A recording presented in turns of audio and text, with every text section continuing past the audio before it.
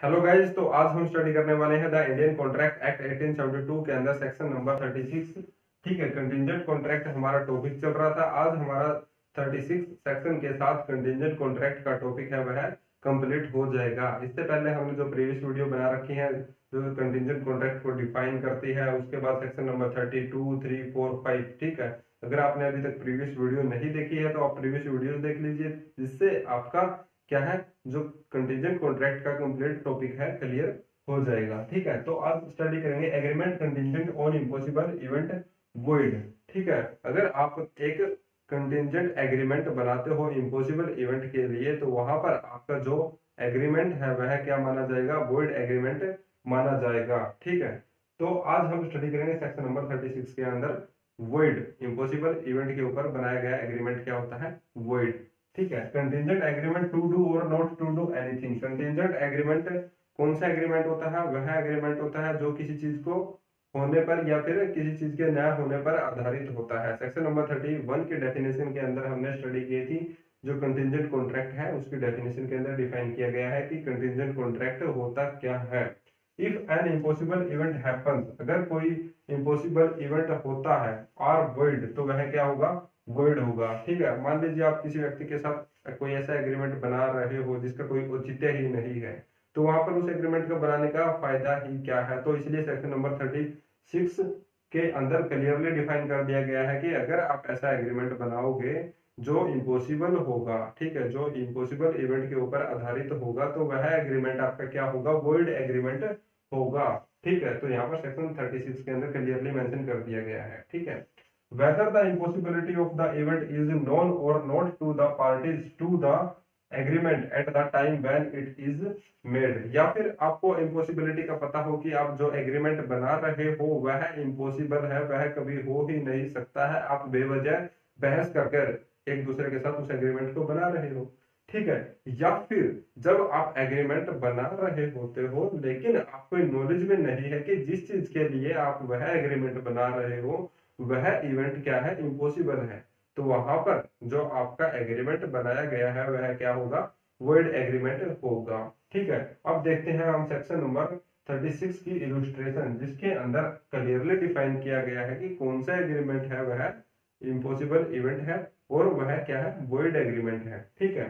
A agrees to pay B one thousand rupees if two straight line should enclose a space ठीक है? तो यहाँ पर बोल दिया गया है कि ए ने बोला ए और बी दो पार्टी है, ठीक है? A agrees to pay B one thousand rupees A ने बोला, मैं आपको दूँगा एक हज़ार रुपए। ठीक है? कब? जब ये दो लाइन है स्ट्रेट लाइन है। स्ट्रेट स्ट्रेट लाइन क्या है? एनक्लोज हो जाएगी। यानी अगर दोनों लाइनें आपस में टकरा गई, कहीं पर भी चलती हुई, ये दो लाइन स्ट्रेट लाइन चल रही है, अगर ये कहीं पर भी चलती हुई टकरा गई तो मैं आपको वन थाउज़ेंड रुपीज़ दूँगा। क्या कभी भी दो स्ट्रेट लाइन है? आपने मैथ में स्टडी किया होगा कि कभी भी दो स्ट्रेट लाइन चलती हुई, कभी भी एनक्लोज नहीं हो सकती है। तो वहाँ पर आपने स्टडी किया है तो यहाँ पर आपको समझ में आ गया होगी, अगर दो लाइन चलती रहेंगी चलती रहेंगी, यानी कि लाइफ खत्म हो जाएगी डेथ हो जाएगी तो लाइफ में कभी भी ठीक है, कोई भी कितना भी समय लग जाए, लेकिन ये लाइन है, वह एनक्लोज नहीं होगी और यह जो हमारा इवेंट बना है, जो इम्पॉसिबल है। जो हमारा ये इवेंट है, वह क्या है? इम्पॉसिबल है। और जो हमारा इवेंट इम्पॉसिबल होगा तो वह एग्रीमेंट क्या होगा? हमारा वर्ल्ड एग्रीमेंट होगा। डेफिनेशन के अंदर क्लियरली पहले ही बता दिया गया कि भाई आप इम्पॉसिबल इवेंट के लिए एग्रीमेंट मत बनाओ, ठीक है? और बनाने का कोई फ़ायदा नहीं है वो एग्रीमेंट आपका क्या है? वोइड एग्रीमेंट है। सेक्शन नंबर थर्टी सिक्स के अंदर हमने दे दिया गया कॉन्ट्रैक्ट एक्ट के अंदर कि भाई वोइड एग्रीमेंट है इम्पॉसिबल इवेंट के ऊपर अगर आप बनाओगे तो ठीक है? अब बात करते हैं हम जो इसकी इलुस्ट्रेशन नंबर सेकंड है। इलुस्ट्रेशन बहुत इंपॉर्टेंट होती है। एग्ज़ाम के पॉइंट ऑफ़ व्यू से देखोगे तो क्वेश्चन के अंदर इलुस्ट्रेशन ही दे दी जाती है। लास्ट मैं बताऊँगा आपको वीडियो के लास्ट में कि कैसे एक क्वेश्चन आता है इलस्ट्रेशन के बिहाफ पर। ठीक है? अब देखते हैं illustration B A agrees to pay B one thousand rupees if B will marry A A's daughter C ठीक है? यहाँ पर क्या हुआ?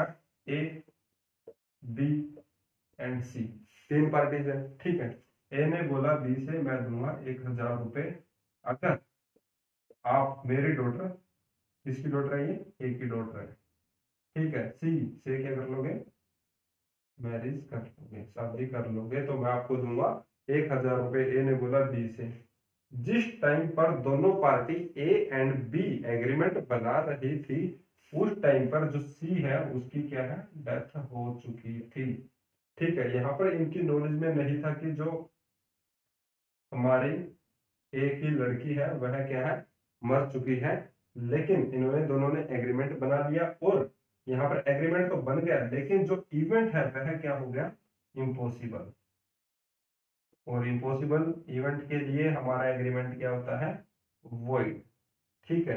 तो यहाँ पर अगर इस तरह से किसी पार्टी को नॉलेज नहीं है और वह इम्पॉसिबल इवेंट के लिए एग्रीमेंट बना रही है तो वहाँ पर एग्रीमेंट होता है हमारा वॉइड ठीक है? अब बात करते हैं 36 के अंदर आपके मल्टीपल चॉइस क्वेश्चन की मल्टीपल चॉइस कैसे क्वेश्चन कैसे बन सकते हैं, ठीक है?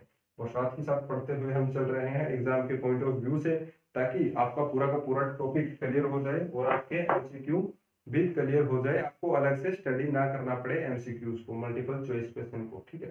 फ़र्स्ट तो यही आता है कि agreement contingent on impossible event इतनी सी लाइन दे दी जाएगी आपको, इतनी agreement contingent on impossible event पूछ लिया जाएगा। ठीक है? वहाँ पर ऑप्शन दे दिए जाएँगे। वैलिड वॉइड वॉइडेबल और नन ऑफ़ द अबोव तो यहाँ पर आपका राइट आंसर रहेगा void agreement contingent on impossible event void आप दिमाग में बैठा लीजिए। अगर कोई इम्पॉसिबल एग्रीमेंट बनाता है, ठीक है इम्पॉसिबल इवेंट के लिए कोई भी एग्रीमेंट बनाता है कंटिजेंट एग्रीमेंट ठीक है तो वह होगा वॉइड भैया। ठीक है? अब बात करते हैं हमारे इलिस्ट्रेशन से। A agrees to pay B 1000 rupees if two straight line should enclose a space इतनी लाइन दे दी जाएगी यहाँ तक। द एग्रीमेंट इज़ क्या होगा? Void ठीक है? द एग्रीमेंट इज़ यहाँ तक पूछ लिया जाएगा, यहाँ पर आ जाएगा आपका क्वेश्चन मार्क और आंसर के अंदर ऑप्शन दे दिए जाएँगे चार। ठीक है? तो आपको चार ऑप्शंस के अंदर से राइट आंसर देखना होता है। ठीक है? जो आपका प्री एग्ज़ाम होता है, उसके अंदर एमसीक्यू पूछे जाते हैं। या फिर आप कोई भी अदर एग्ज़ाम देते हो ए का देते हो, कलेक्ट देते हो एलएलएम के लिए, ठीक है तो वहाँ पर भी इस तरह के क्वेश्चन आते ही आते हैं। आप कहीं पर भी देख सकते हो इलुस्ट्रेशन के अंदर से क्वेश्चन पूछा ही जाता है।